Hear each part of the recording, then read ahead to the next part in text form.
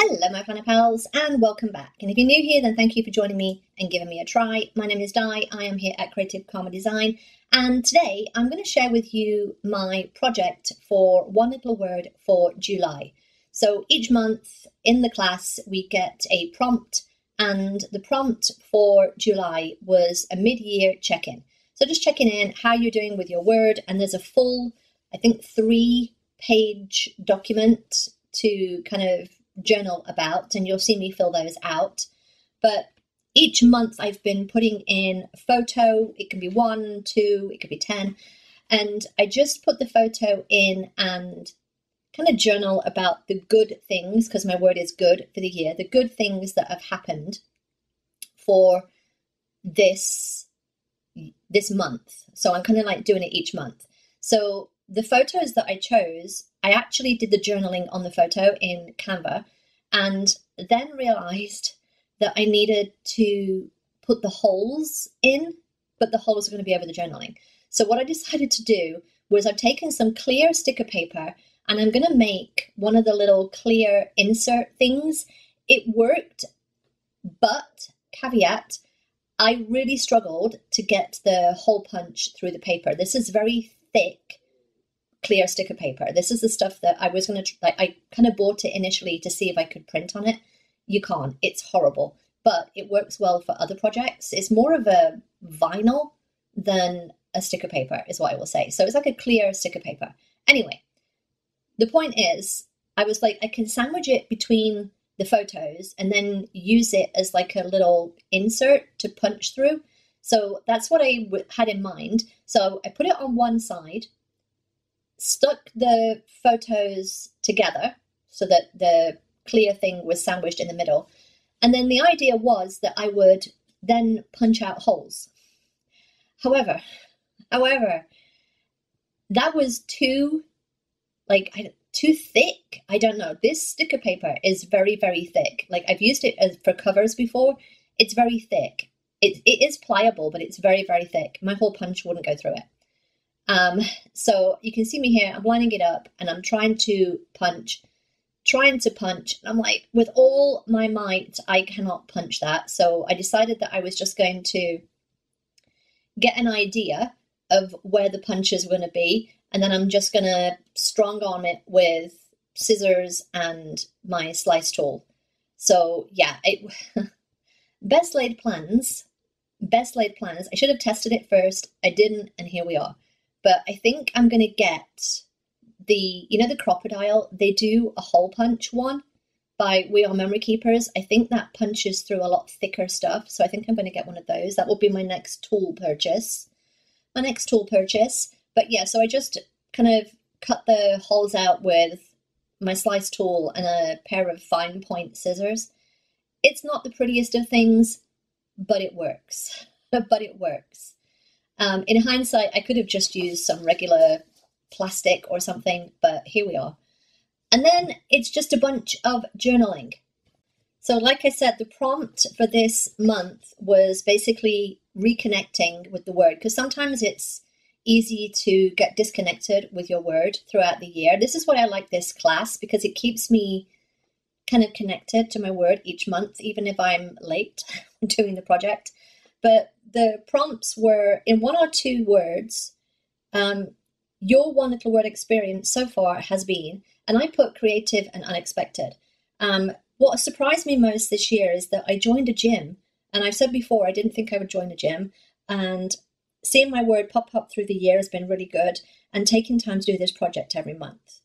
What are you most proud of related to your word? And I've put taking steps to boost my physical and mental health, joining a gym, swimming again, eating better, taking time for rest, and all things for a good life. Things that I've enjoyed about this word, um, all the planner stickers with good. I mean, again, I do say that like Happy Planner is very toxic positivity sometimes, but I do like all of the good stickers. It just kept my word present. Focusing on the good things each month and gratitude. Something is either good for me or it's not. It's a vibe. Three challenges that I faced Injuries, not good, but dealing with them. Dogs being a pain in the ass with other dogs, especially Cosmo. He is testing his boundaries right now. And being honest with myself in the struggles, it's me. I'm the problem. It's me. and then, has this word had an impact on your relationship with others? Yes, maybe it's not as much as I'd hoped, but perhaps that's a focus for the latter half of 2024. Um, companion words, and we kind of touched on this last month. The one that's really sticking out right now is health, good health, and all that it encompasses life, vibe, and yes. Have I developed any specific practices? Um, the good health again, and again, health as an all round word, not just physical health.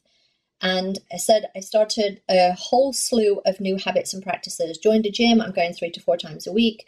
We're swimming weekly. Um, I started tracking my food again with Cronometer. All good, healthy habits. Plus, I'm creating more for fun, and that is good. And by fun, I mean not for a video. Uh, what is stopping you from fully embracing your word and your intentions this year? While good is solid in its vibe, I feel one of the aspects I need to explore is bad. The opposite word. There is some childhood trauma that needs dealing with, maybe a letter and personal stuff that I want to get out, and either hide it in an envelope or burn it. What is one specific action that you will do this month to move you forward? Um, I said I want to take time to address injuries.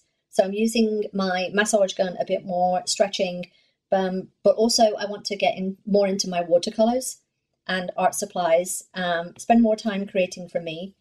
And I have created a, um, a separate journal as well for my game that I play. So, again, just trying to make things more fun. Three things I'd like to ex- accomplish by the end of the year. Um, I put one, explore what bad is or what not good is. Two, more creative stuff, um, art, watercolors, etc. And three, kind of really focus on trying to get back into training the dogs again. I'm just fallen out of the habit. Anything else you want to document about your word right now? And I said, honestly, life is good right now.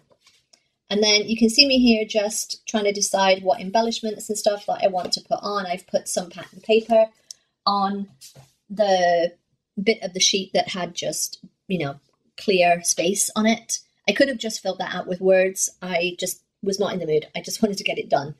Um, I'm trying to, I think, start thinking about this project a little more early in the month so that I've got a little bit more time to think about it.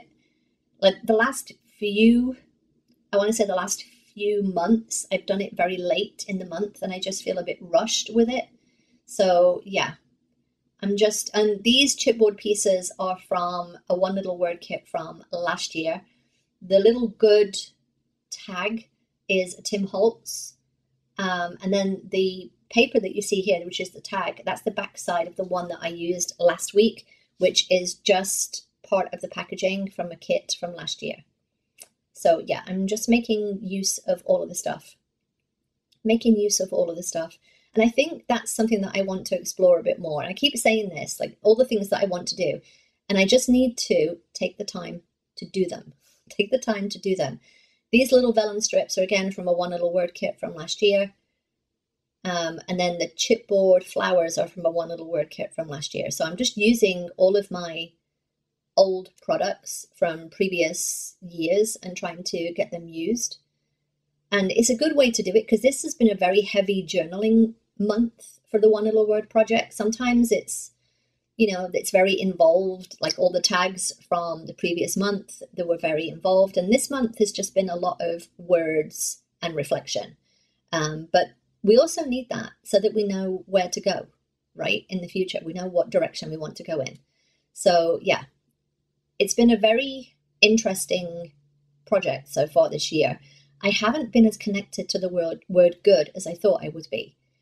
And that's been over the last few months. It seems to be morphing into vibe and health. Health is the one that I'm kind of vibing on right now and health as in physical health, mental health, emotional health, environmental health, it all kind of is encompassed in that one word is health.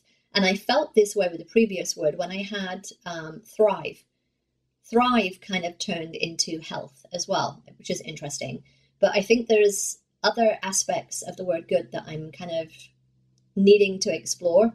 I just need to give myself some space and time to do that. So yeah, so I'm just finishing up here, putting the, some little chipboard flowers on here, and yeah, just finishing the finishing touches.